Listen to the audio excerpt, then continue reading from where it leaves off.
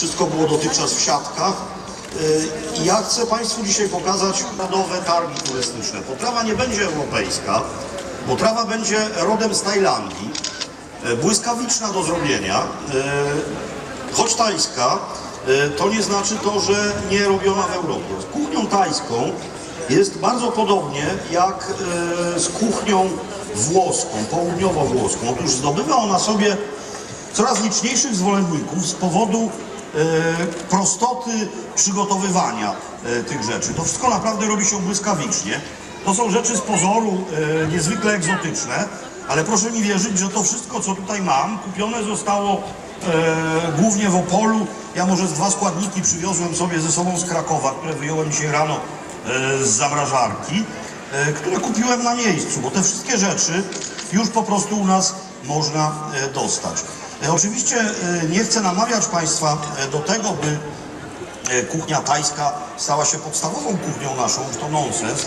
Mamy swoje dania, mamy rzeczy, które gotujemy na co dzień, ale czasami odrobina egzotycznego smaku, myślę, nie zawadzi. Więc dobrze, będę po kolei opowiadał, co robię. Te kartoniki, które pieczołowicie rozcinałem, zawierają w sobie mleczko kokosowe. Mleczko kokosowe, które służy w kuchni tajskiej e, pełni podobną rolę jak w polskiej kuchni e, pełni śmietana. E, Z tym, że ono jest no, trochę inne w smaku oczywiście, w ogóle nie jest kwas, kwaśnawe jak nasza kwaśna śmietana, jest słodkawe, no i z wyraźnym kokosowym aromatem. Mleczko kokosowe można bez problemu kupić zarówno w puszkach, jak i w kartonikach. Ja właśnie takowe tutaj posiadam. Dlaczego zdecydowałem się e, na pokazanie Państwu y, czegoś z kuchni tajskiej. No po pierwsze dlatego, że prośba była, aby pierwsze danie było jak najbardziej egzotyczne. Po drugie dlatego, że Tajlandia to jedyny kraj, w którym chodziłem do szkoły kucharskiej.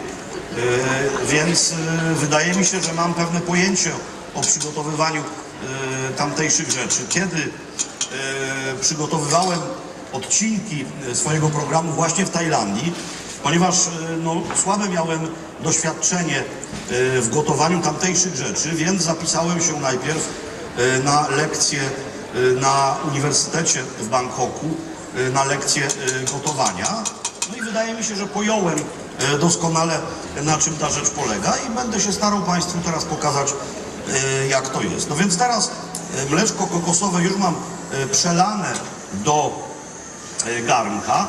Ono ma w tej chwili konsystencję e, niejednorodną, ponieważ ono zawsze, czy jest w puszce, czy też e, e, w kartonie, na dnie jest gęstsze, na wierzchu jest rzadsze, ale kiedy się będzie gotować i mieszać, ono nabierze konsystencji po prostu śmietany. Doskonale to działa.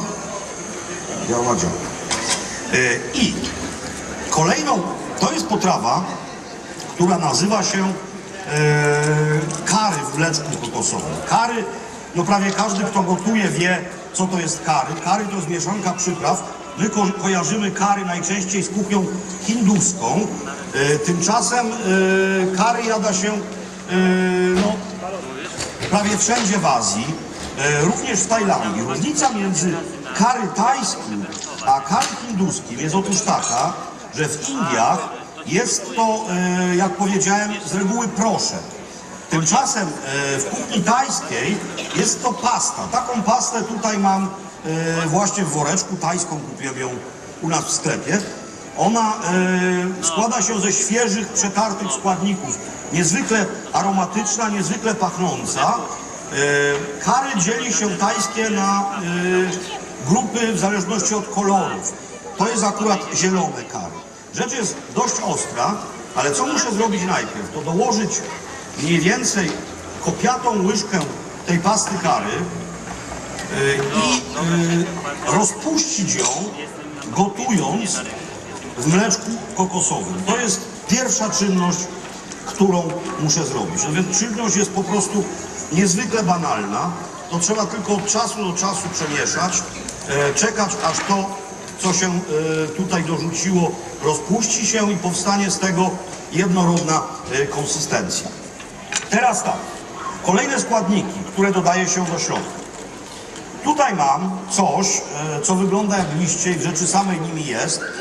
To są mianowicie liście lemonki, czyli zielonej cytryny, wszakże nie tej odmiany, którą mam tutaj w ręku, bo to jest lemonka, która się nazywa kafir i ona jest, jej owoce e, są takie gruzłowate, mają w sobie bardzo mało soku, za to liście wydzielają niezwykle przyjemny cytrynowy zapach.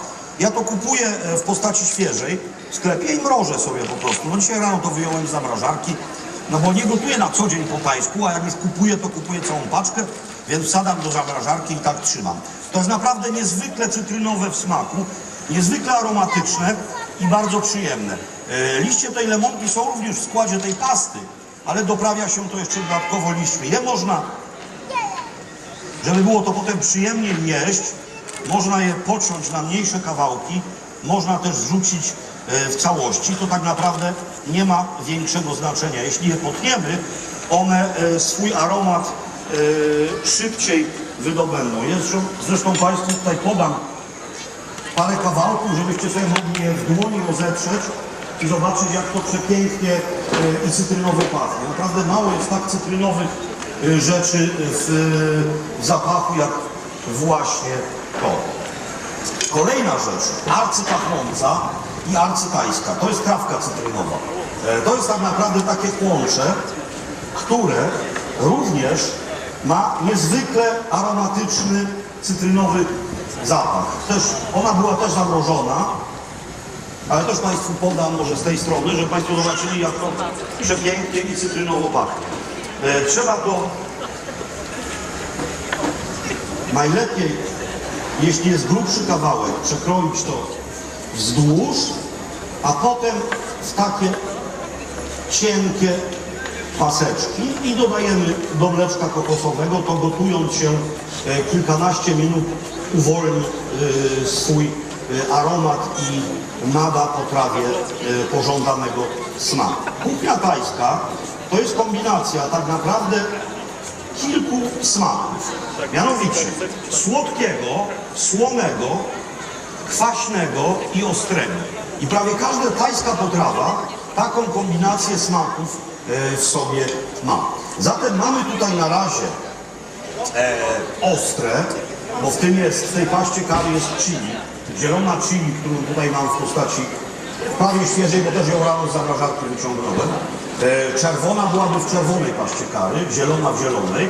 I Ja dla siebie dodaję jeszcze e, ekstra chili, ale to i tak jak na polskie standardy jest piekielnie ostre. Zresztą ci z Państwa, którzy będą chcieli spróbować, e, będą mieli e, taką e, okazję. Sprawa ostrości jest kwestią tak naprawdę przyzwyczajenia, bo dla nas rzeczy y, czasami z większą ilością pieprzu wydają się straszliwie ostre, ale jeśli Państwo zobaczą, co w Indiach na przykład jedzą noworodki, no to jest kwestia po prostu przyzwyczajenia. Ja swoich dzieci, y, swoim dzieciom od początku y, podawałem y, po prostu ostre rzeczy, kiedy one miały być ostre. I, i jakby tę barierę przekroczyły. Pokutuje u nas takie mniemanie, że dla dzieci należy, nie mówię tu o niemowlętach, tylko o dzieciach, że dla, dla dzieci należy specjalnie gotować. Jest to moim zdaniem y, wielki błąd, ponieważ robiąc dzieciom jałowe rzeczy w smaku, y, nie uczymy dzieci po prostu nowych smaków. Dziecko w domu już nigdy nie będzie głodne. Jak mu coś smakuje, to po prostu nie je i mówi, że, że nie je, to zje wieczorem bułkę z szynką. Y, Ja nigdy nie gotowałem specjalnie dla dzieci, tylko gotowałem po prostu tak, jak chciałem gotować. I dzięki temu wiem już, co moje dzieci lubią, a czego nie lubią. W każdym razie yy, tajskie rzeczy są czymś, co naprawdę, naprawdę lubią. Mam nadzieję, że i Państwo, yy, jeśli nie mieli okazji wcześniej tego próbować. Yy. No i teraz piersi z kurczaka, czyli rzecz, która jest elementem jakby naszej kuchni od zarania, które kroi się właśnie w ten sposób, w takie cienkie paczki. I proszę zobaczyć, naprawdę gdybym ja nie gadał, tylko to robił, to już, bo to już się gotuje, to bym to wrzucił, to się robi 15 minut. No bo ile się taki plasterek kurczaka środku gotuje, żeby był miękki? 5 minut? Nie dłużej. Do tego, yy, ja tego tutaj dzisiaj Państwu nie podam, yy, do tego je się ryż, bo to ma postać takiej gęstej zupy. I to się jada z ryżem. Jeśli w Tajlandii, to ryż jaśminowy. No, z ryżem jest trochę więcej zachodu, na takiej kuchence ciężko jest go zrobić, więc ryżu dzisiaj nie będzie, ale jeśli Państwo chcą sobie ewentualnie rzeczonego coś e, zrobić w domu, e, to proponuję e, właśnie ryż. Tajlandia jest takim krajem, dlaczego ta kuchnia jest tak fascynująca? Bo jest to kraj, który łączy w sobie elementy dwóch wielkich kuchni światowych, mianowicie kuchni hinduskiej oraz kuchni chińskiej. Tajowie jedzą i pałeczkami, e, i dłońmi, tak jak Hindusi, pałeczkami, tak jak Chińczycy, ale również nożem i widelcem e, oraz łyżką, tak jak Europejczycy. Tajska kuchnia przejęła e, trochę z kuchni francuskiej, jeśli chodzi o sposób e, podawania potraw. To jest naprawdę bardzo, bardzo wspaniała kuchnia. Dobra, kroję resztę kurczaka, myślę, że skroję w ogóle wszystkie, bo jeśli mamy tego próbować, to będzie lepiej. Ja przyrzekam, że umyłem ręce przed chwilą, bardzo dokładnie. Poza tym mam nadzieję, że nie dają się Państwo otumanić jakimś doniesieniu jakiejś świńskiej grypie. Ile zmarło? 100 osób na tę grypę, a na normalną grypę umiera 50 razy więcej codziennie na całym świecie. To jest tak zwany fakt medialny, Kucharz musi być czysty. a nie jakaś rzeczywistość. Tak jest. I książeczkę szczepień do wglądu. Z tym, że wie pan, ja nie jestem kucharzem, ja jestem popularyzatorem kuchni. Kuchnia to jest moje hobby. Kucharz to ktoś, kucharz to ktoś, kto skończył szkołę kulinarną, ktoś, kto skończył szkołę kulinarną i gotuje w restauracji. Ja jestem raczej popularyzatorem kuchni, amatorem. E, Nie chcę tutaj... E, tak, to jest moje hobby. Skrawuję zatem resztę tych piersi z kurczaka. Za chwilę zajrzymy do środka, zobaczymy, czy mleczko kokosowe zaczęło się już gotować. Wydaje mi się, że tak. Jeśli tak, to będę mógł... Tak, gotuje się. Zatem mogę dodawać do środka teraz mięso. Będę to czynił stopniowo. No i teraz już naprawdę wystarczy nam 5 minut, no może 10 yy, dla pewności, ponieważ jak się to gotuje, to naprawdę ugotuje się błyskawicznie. Ale to jeszcze nie wszystko. Mówiłem o różnych smakach. Mówiłem o tym, że czy ja mógłbym prosić o ręcznik papierowy? Zapomniałem, zapomniałem, przyniosłem. Mówiłem o y, smaku słodkim, słonym, kwaśnym i ostrym. Ostrość mamy y, w paście kary, w której jest chili. Nie mamy jeszcze póki co słodkości. Oto ona. Y, To jest cukier y, trzcinowy, brązowy. W oryginalnym przepisie używa się cukru palmowego, który jest znacznie trudniejszy do dostania. Cukier z palmy.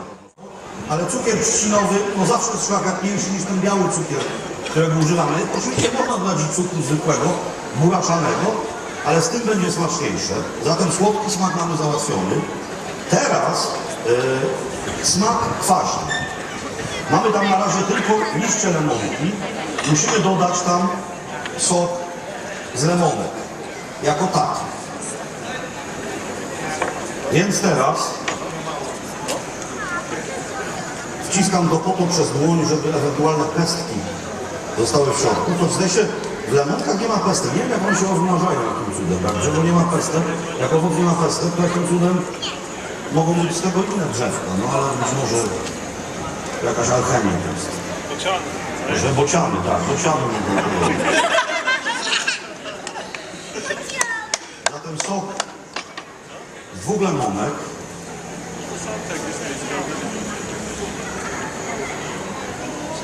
I nie mamy tutaj jeszcze na razie niczego słonego. Yy, Tajowie w zasadzie nie używają soli jako takiej, tak jak Chińczycy bardzo rzadko używają soli. Chińczycy solą sosem sojowym i Japończycy. E, Natomiast Tajowie soją, solą najczęściej sosem rybnym. To jest to. Nie radzę tego Państwu wąchać e, w takim stanie, bo to po prostu jak cholera śmierdzi rybą.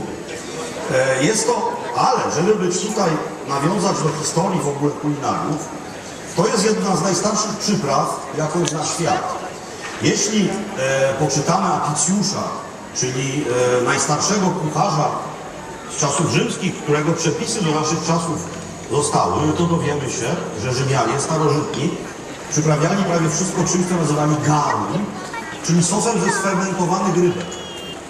E, I to jest właśnie e, coś takiego, tajowie to robią. Proszę mi wierzyć, że to e, jako dodatek, w ogóle tego nie będziemy czuli, tylko słodność. Natomiast gdybyśmy chcieli powąchać, to tak, no proszę bardzo. Co tu pani? Śmierdzi rybą. Śmierdzi. Ale w tym tego w ogóle nie będziemy czuli. Dobra, to się musi teraz zagotować potwornie. Na razie dodaję tego tyle. I mógłbym już tego nie próbować, bo wydaje mi się, że, że zrobiłem wszystko dobrze. Jeśli Państwo myślą, że kucharze w restauracjach próbują wszystkiego, to się mylą. Był taki genialny, znam kucharzy, którzy są na przykład wegetarianami i przygotowują dania mięsne. A więc siłą rzeczy nie próbują. Jest taki wspaniały film, widziałem go parę lat temu, tajwański. Zresztą jedyny film tajwański, jaki w życiu widziałem, o szefie kuchni, który stracił smak jest taka choroba, a muszą gotować, to jeszcze gotować dla e, jakichś niezwykłych dostojników i po prostu robił to na pamięć. Więc ja już wiem, jak to będzie smakować, e, ale nie wiem jednej rzeczy mianowicie, bo te pasty kary są, trzeba oczywiście brać tańskie, są od różnych producentów e, i różne mają różny stopień ostrości. Więc ja spróbuję tego po to, żeby zobaczyć, czy Państwo nie zamorduje tutaj. Ile dodałem, to tyle tam środku jest, ale wtedy, nie wiem, wtedy na przykład niechcący potrącę garnek, się wszystko wyleje, no coś będę musiał wymyślić. Tu to, to gotowanie jest skończone. No, wszystko musi zagotować, pogotować 5 minut. Także no proszę zobaczyć, to jest po prostu idealne rozwiązanie na dzisiejsze czasy. E, czy to wszystko jest drogie? No to kosztuje na przykład 14 zł, a wystarcza mi na rok. No bo jak ja często gotuję po Państwu, raz na miesiąc. Paczka takich e, liści tej lemonki kosztuje też tam zdychę, a tego jest tyle. Na 3 lata mrożę to. Więc to wcale nie jest takie drogie. E, schabowy z kapustą e, i z ziemniakami, zwłaszcza są młode, droższy. Oczywiście nie namawiam Państwa do tego, żebyście jedli wyłącznie kuchnię tajską, ale proszę mi wierzyć, że od czasu do czasu naprawdę warto zjeść coś. No, jesteśmy na targach turystycznych. Człowiek, człowiek jedząc rzeczy z innych stron świata, również przenosi się e, choćby mentalnie e, w tę stronę. Dobra, ja teraz tego próbuję.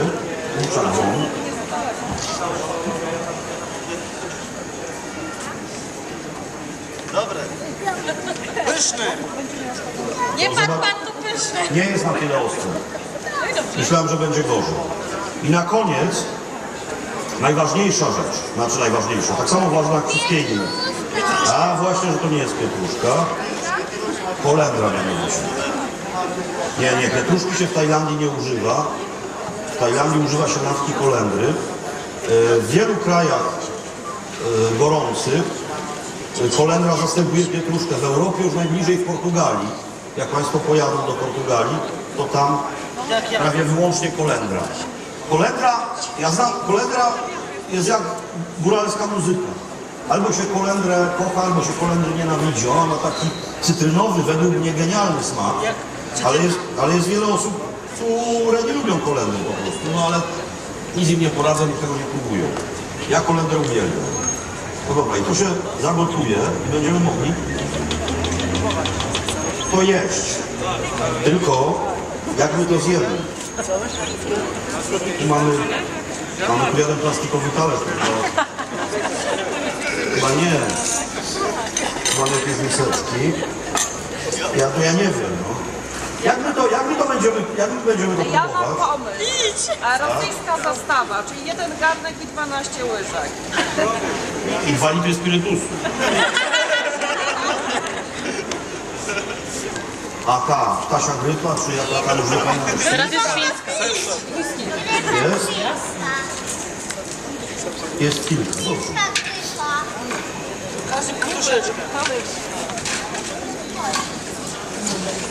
No lepiej by było jeść miseczek, ale trudno. I łyżkami. No, 500.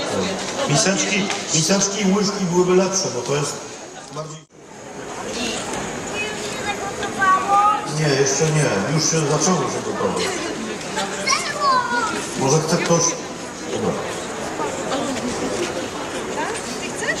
E, Tą łyżką e, było nabierane tylko mleko kokosowe. Nie miałem jej w paszczy, proszę się nie denerwować. Mogę komuś dać, to bardzo... Ja. To lubi ostre. Ja, ja bardzo lubię. Ale ja, Proszę powiedzieć, czy poziom ostrości jest e, możliwy do zaakceptowania? ładnie do mnie odwrócić. No to doskonale. Poziom ostrości jest możliwy do zaakceptowania. Żadnych przypraw tu już więcej nie będzie. Rzecz jest skończona. Czekamy tylko na miseczki y, plastikowe oraz na łyżki. I będę nakładał dosłownie takie porcje degustacyjne. Takie jak w eleganckich restauracjach jest dość często. Wielki talerz i tak trzy ziarenka fasolki, jeden z szczypiorem, pół ziemniaczka, 50 zł popis. Tu nie będzie także ile to trwało? 10 minut? Znaczy gadałem dłużej oczywiście, ale, ale gdybym nie gadał,